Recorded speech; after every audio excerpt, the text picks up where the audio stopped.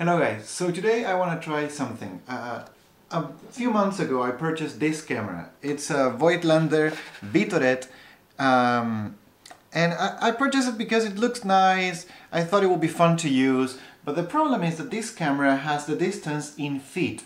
Now, not only that, but it has distance in feet and the viewfinder doesn't have any kind of scale, so you can't focus. You have to uh, guesstimate the distances. Now, since I can't guesstimate the distances on feet for the life of me, uh, this camera has been just sitting on the shelf for a long time.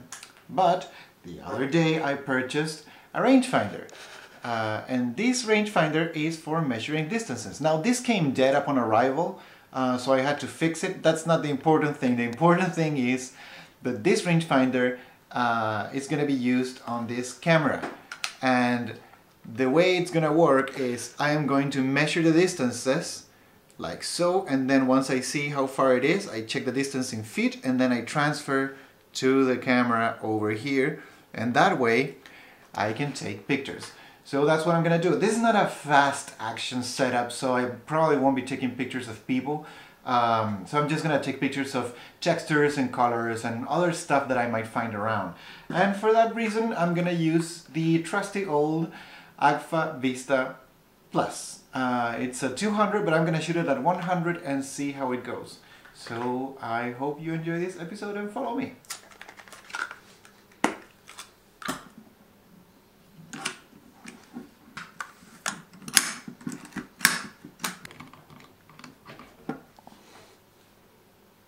So what do you guys think about my really stealthy setup?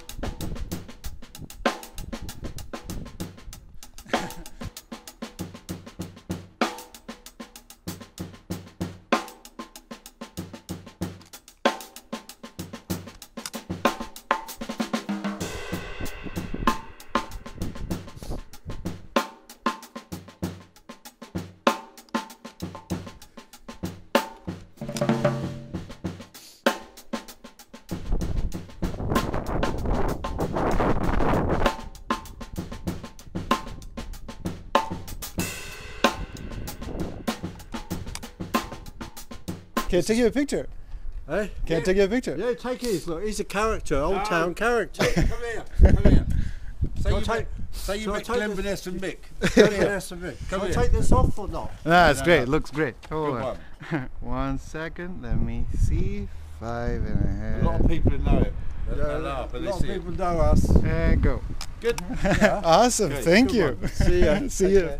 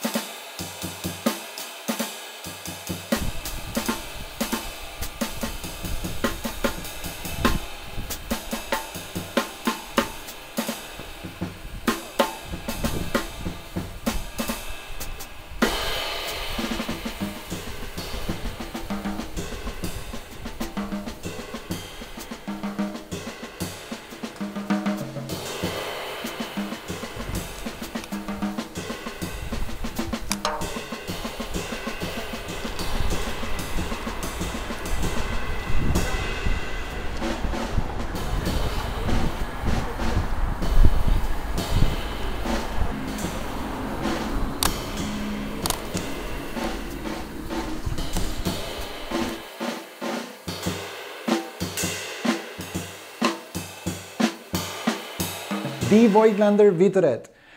Uh, I purchased this camera just to give it a try. It's not an expensive camera by any means. I thought it was an interesting camera because it's a 50mm 2.8 uh, and you have to guess the distances or use an external rangefinder, which is exactly what I did. I purchased this not as a main camera for the raffle on my Patreon, but as a bonus camera, and that's exactly what this is. Uh, this is not the main camera of this month, but it's the bonus and it's an interesting bonus. I purchased this camera online and it said like great condition and it's not like the, there's a screw missing here and the viewfinder sometimes moves around so you have to take care of it. I mean it, it, it doesn't fall or anything but but you can you can tell there's it's not well locked in place so it's not in awesome condition at all. There are many this this is not uncommon by the way there are so many so many cameras online that say like, hey, mint condition, awesome condition, excellent, tried with film, working, and they're not. Like this, this is a common thing that happens on my channel. My patrons know about this, but I'm telling you now. Uh, I, I usually purchase more than one camera every month, usually two or three. Uh, just to shoot one episode because the cameras arrive and they're broken upon arrival or the shutter's not fire or the lenses are not working or whatever. So this is not uncommon. Now, I shot it just as it is because, it, it, as I said, it's a bonus episode. Uh, and it's a, it's a fun camera to use. Once you put the rangefinder on top of it and you like uh, find ways around in which to use it, it's a fun camera. Now, it's a very limited camera, by the way. So the shutter speed are bulb, uh, 30, 60, and 125. You have those four shutter speeds, that's all you have and the apertures range from 2.8 up to f22. That's it. That's all you get.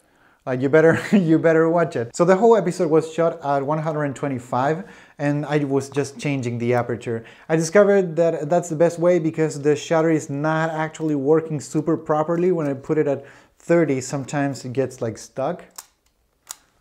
Uh, yeah, it got stuck now. So it's it's not the best option. 60 works okay and 125 works perfectly. This is my model. It doesn't mean that every uh, camera works like that. It's just my model is not exactly in the best condition as I said. But even though, despite that fact, like even as, as limited as that is, meaning just shooting at 125 or 60, which is like super limited, uh, and moving around only the aperture, uh, you're still able to get interesting results. I mean, Yes, it's not the most awesome camera around there, but it's super light and it's fun to use. That's one thing that uh, you need to keep in mind. These kinds of cameras, the ones that are super limited, they force you around to think ways of accomplishing things that will be much easier with other cameras. And sometimes when you just want to have fun, uh, when you have some films to spare and you want to like go out with your friends on a weekend and have some fun and take some random pictures. These kinds of cameras are great options because you're not worrying about making awesome results. You're just worrying about having fun and like, oh, I wonder if uh, maybe if I use the Sunny 16 rule, can I can I take it at I don't know f11 or f8 under that shadow? Let's see if it works. And then you take the picture and you go home, you develop it, and sometimes they're awesome pictures that you have no idea you were able to take. So that's what happened with me. I took this camera and I just, the first thing I did was shooting a roll of HP5 Plus through it and I had no hopes with it. I, saw, I said to myself, well, whatever, it's just gonna be a mess. Uh, probably the lens will suck, everything will suck, but we'll give it a try. And I was surprised, like the camera works really well, the lens is fantastic, everything is super nice. So it was, it was a nice surprise and it's a, it's a really fun camera to shoot. There are two things that I think are pretty cool. So first is the frame counter. It's really simple. You just choose the amount of frames that your roll has and that's it. The top is the 36. That's the most frames you can have on one roll. Uh, you put it over there and every time you take a picture, it will decrease the amount of uh, pictures. So it'll tell you how many shots you have left not how many you have taken. So that's one thing to take into account if you're respooling your own film because for example I'm doing that and sometimes my rolls get 36 or 37 exposures. So um, I just put it on 36 and but I know that by the time I reach zero I still have one or two frames left. And the other thing is the rewinding system. The rewinding system is pretty cool. You just press this button and then you move around like I showed on the video. Now for some reason every time I shoot a roll um, the last bit of the roll gets stuck here uh, by this, this part and it breaks the last few sprockets of the film. So, I mean, it's not bad, those last few sprockets will get tossed anyway, but it's a thing to keep in mind. I don't know if all of Vitoret make this thing. Uh, this happened with this one, with the two rolls that I shot through it. It happened both times, so that's one thing to keep in mind. To open the camera, you just press these two buttons and the back will open and that's it. It's pretty easy. I think the fact that the camera is so limited and has so many shortcomings makes it really interesting. The fact that when you see through the viewfinder, you're only seeing an approximation of what you're gonna get and there's no way of focusing this camera except with an external rangefinder or by guessing the distances. Um, and there are only four shutter speeds and whatnot. I think all of those things make the camera really cool. The, the shutter, as you can see, it's over here. So it's a really weird position to have your shutter. Um, I, all the time when I was taking pictures, I got the feeling that I was shaking it too much, like I was doing this. And when you do this movement, I always get the feeling like, oh man, the, the picture is gonna be like, uh, it's gonna have some movement, it's not gonna end up nice. So I was really worried about taking pictures like this, trying not to steer it too much. It will be much comfortable to have it over here, but the fact that even the shutter is uncomfortable, these kinds of stuff are the things that make like film photography so magical to me in, in, in one sense, meaning like I can't imagine a current manufacturer for digital cameras putting like the shutter over here and making it so limited. It's like, it's a, it's a really limited camera, but if you can take nice pictures with this amount of limitations. I think you can take nice pictures with anything. So it's a good camera for training and just to have overall a good time. So yeah, I hope you enjoyed this episode. Uh, if you want to take part of the raffle in which I give away uh, film cameras and films and different stuff every single month, just go and follow the link I'm gonna leave in the description and there you can join Patreon and be my Patreon and you can have access to other stuff. Uh, if you don't want to or you can't, that's fine too. Don't worry, I'm, I'm still posting here. This, this is the thing. This is the reason why the Patreon exists, just to support the channel and to keep this thing going and try new cameras and new stuff. Uh, so yeah, I hope you enjoyed this episode and I will see you as always next week with another one. So until then, just keep shooting guys.